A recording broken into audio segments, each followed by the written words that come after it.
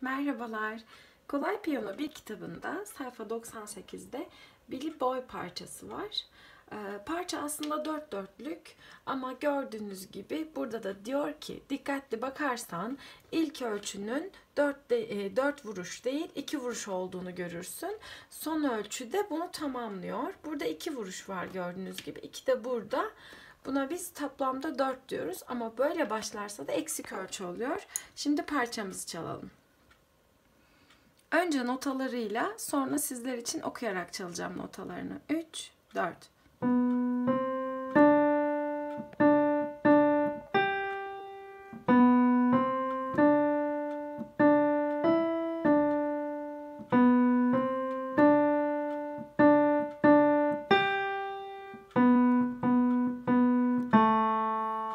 Bir, iki.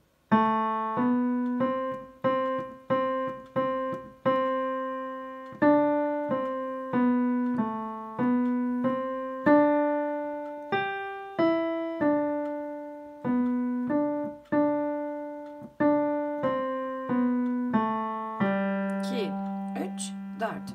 Yukarıda bir iki dediğim yerde iki vuruşluk sus vardı. Şimdi notaları seslendirerek çalıyorum. Üç, dört.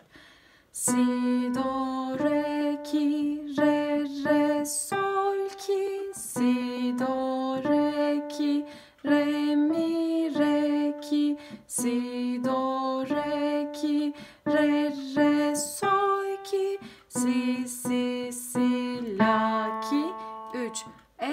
es, la, si, do, do, do, do, do, iki, re, do, si, la, si, do, re, ki, sol, mi, re, ki, si, re, re, ki, re, do, si, la, sol, ki. 3, 4. Burada da son olarak uzatma bağını görüyorsunuz. 2 ve 2 vuruşu 4'ü tamamlamamızı istiyor. Hoşçakalın.